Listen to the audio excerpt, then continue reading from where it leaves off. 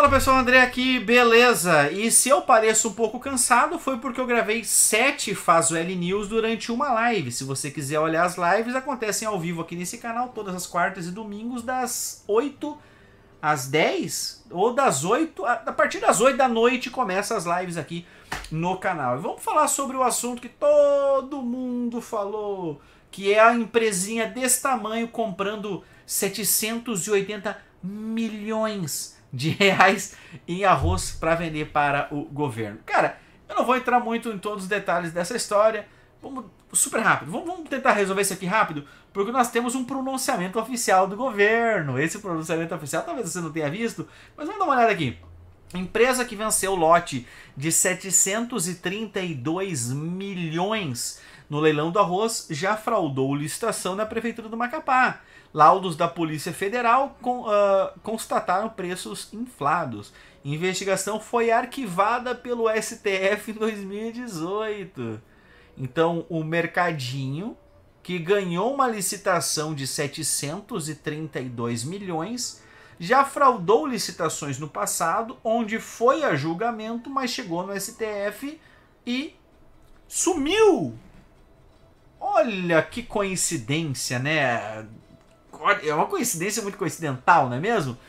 E aí nós temos aqui a, a parada, crimes licitatórios e de desvio de verbas públicas pelo deputado federal Roberto Góes, uh, ó, vencido por Weasley A. de Souza ME, né? Cara, empresa micro microempreendedor, tá? Uma empresa de uma empresa microempreendedora ganhou uma licitação de 352 milhões do governo. Cara, vamos lá. Ó, Weasley Souza, o desconhecido rei do arroz da Conab, Weasley A. Souza Limitada, uma pequena empresa de queijos do Macapá, surpreendeu ao arrematar seis lotes em um leilão realizado pela Companhia Nacional de Abastecimento, ganhando a responsabilidade de importar 147 mil toneladas de arroz. Esse mercadinho vai importar 147 mil toneladas de arroz. A transação renderá à empresa um total de 736 milhões de faturamento. Weasley Souza, até então desconhecido no mercado, agora se destaca como um novo protagonista no setor de importação do arroz do Brasil. E aqui nós temos uma coisa que chamou muito a atenção, que foi o que? O capital social dessa empresa era. Cara, eu vi em duas fontes isso. Um lugar mostrou 50 mil e outro lugar mostrou 80 mil, tá? Então, ó, inacreditável, uma microempresa individual, um MEI, com uma sede no Macapá de capital de 80 mil, arrematou sozinha num leilão uh, para movimentar 590 milhões em arroz. Uh, e aí eles aumentaram o capital da empresa, se não me engano, para 5 milhões de reais, tá? Existe uma série de limitações por que, as pessoas aumentam o capital social da empresa. Eu lembro quando a gente, nós abrimos a nossa empresa, era 10 mil, depois a gente voltou para 30 mil. E com o passar do tempo, a gente começou a ter mais crédito com os fornecedores. Os fornecedores pediram para a gente aumentar o nosso capital social né, na documentação da empresa, porque eles não podiam vender para mim 100, 200, 300 mil parcelado, sendo que eu tinha um capital social muito pequeno. Né? E esse capital social da empresa, galera, só para vocês entenderem, se essa empresa der tudo errado com ela, deu tudo errado com ela, deu um monte de merda, esses 80 mil significa que ó, eu tenho 80 mil de capital. Se der qualquer merda na minha empresa, a justiça pode vir e apreender os 80 mil de capital dessa empresa. O limite é o, é o capital social. Entendeu? Então agora você imagina uma, o, o que. Olha o que, poderia dar de errado aqui. Eu vou contar, vou contar uma coisa pra vocês. Vamos pensar que eles subiram o capital da empresa para 5 milhões de reais. E eles pegam no leilão ali de 500 milhões, 700 milhões e eles não entregam. Pegam o dinheiro e não entregam. O que, que acontece? Eles precisam pagar apenas os 5 milhões. No caso aqui, apenas os 80 mil. Entendeu? Mas ok, agora vocês vão ver aqui, ó. Agora nós vamos ver o que, que aconteceu, que veio um pronunciamento oficial do governo falando sobre estas empresas, tá?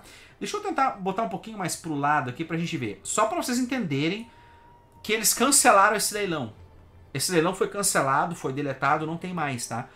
Porque tinha muitas coisas ali que tava chamando a atenção negativamente. E eu vou ser bem franco para vocês.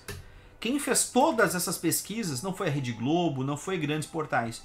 Foram o povo o povo pegou, pesquisou e foi lá e começou a divulgar no Twitter e a coisa começou a tomar proporções e tal. É por esse motivo que eles querem uh, censurar as redes sociais, tá? É por isso que eles querem. Porque Agora pensa comigo o seguinte: há 20 anos atrás, não existia redes sociais. Há 20 anos atrás. Se isso aqui, se, esse, se essa loucura acontecesse há 20 anos atrás, como você ia ficar sabendo disso? Você não iria ficar sabendo disso. Isso ia acontecer, a empresa ia entregar ou não, não, não vou entrar no mérito aqui, mas poderia não entregar, ninguém ia ficar sabendo. Poderia entregar e também ninguém ia ficar sabendo. Vamos ver o que o governo falou. Vamos lá. É, tem empresas idôneas que com capacidade de executar a entrega nesse leilão que ocorreu. Deve ter empresa idônea, né? Mas será que o mercado. Assim, o pessoal comentou a questão. Aquele mercadinho parece que é só uma das empresas que o cara tem. Parece que o cara tem diversas outras empresas. E. Não sei, cara. Passa uma sensação de. Tá? Sabe aquela, aquele retrogosto de merda na garganta? Passa. Agora, vamos lá. Vamos lá.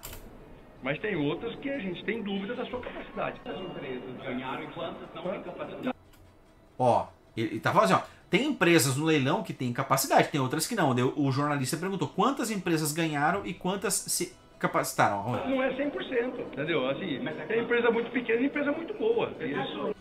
Cara, eu não sou. Tem, tem um canal aí, o Mentalista, aí na internet, que o cara olha na expressão facial, no. no se frangiu a testa ou não. Esse cara tá mentindo ou não? Diz, diz, diz pra mim, filho da puta. Olha o olho do cara. O olho, o olho do cara fica assim, cara. Dá, dá uma olhada, dá uma olhada, velho. Dá uma olhada. Ó, agora. Não é 100%, entendeu? Assim, tem empresa muito pequena e empresa muito boa. Isso. Essa olhadinha que ele deu pro lado aqui, ó. Essa olhadinha aqui, ó. Essa olhadinha, irmão. Eu cresci numa família de estelionatários.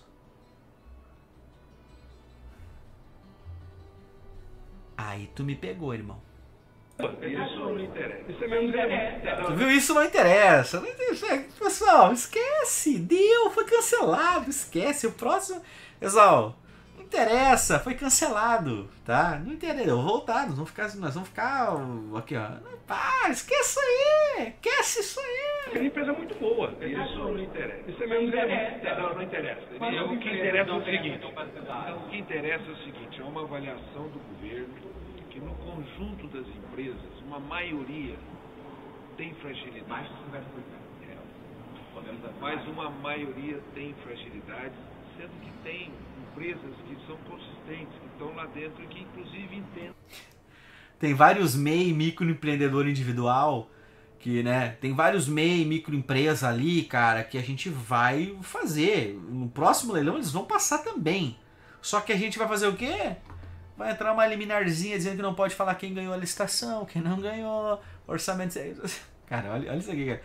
Cara, é nítido, é nítido que tem algo errado. É nítido que tem algo errado.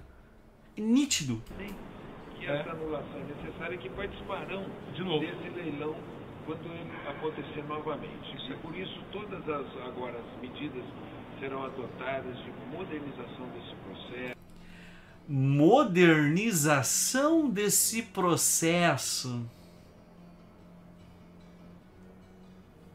Conhecendo o governo, irmão, vai ser um sistema de leilão virtual secreto. De é, cautelas que esse leilão deve adotar e rapidamente a Conab vai anunciar um novo leilão para continuar nesse espírito de que nós tenhamos arroz em grande quantidade, em qualidade, a preço justo para o povo brasileiro. Pessoal, isso que ele falou, o, o, o final para mim foi o pior. Esse final que ele falou para mim é o pior. Ah, que nós vamos ter quantidade de arroz pro povo. Pessoal, tem quantidade de arroz. Mais de 80% de todo o arroz consumido no próximo ano já está já tá colhido. Já está nos silos, já está à, à disposição do povo. Tem, o arroz tem problema. Olha o problema aqui. Eles estão importando arroz barato de outros países que usam certos defensivos agrícolas que no Brasil são proibidos. E aí? Olha só. Como que tu vai ter uma indústria nacional? Como que tu vai ter um agro forte? Como que tu vai ter uma colheita legal? Sendo que as regras pro cara plantar arroz dentro do Brasil é uma, mas pro governo ou para um microempreendedor individual importar 200 mil toneladas de arroz da, da caralha, lá na caralha eles utilizam certos defensivos agrícolas que são proibidos dentro do Brasil. Pelas normas da Anvisa, da NTT, sei lá qual órgão que, que faz essas merda. No Brasil não pode usar, mas lá pode. Daí o arroz importado de lá a gente pode comer, mas o plantado aqui com esses defensivos agrícolas não pode. Hã? Pera aí. Como assim? Você tá entendendo a, a brincadeira?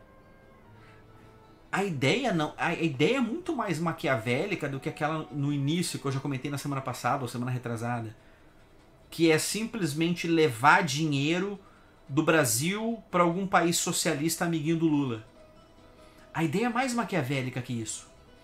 A ideia é talvez criar um precedente de ter um arroz barato, depois ter um feijão barato, depois ter não sei o que lá barato, onde usam defensivos agrícolas que aqui são proibidos, destruir com o agro nacional, porque o agro é fascista, frases do próprio Lula, e condenar a população do Brasil a um cenário de fome.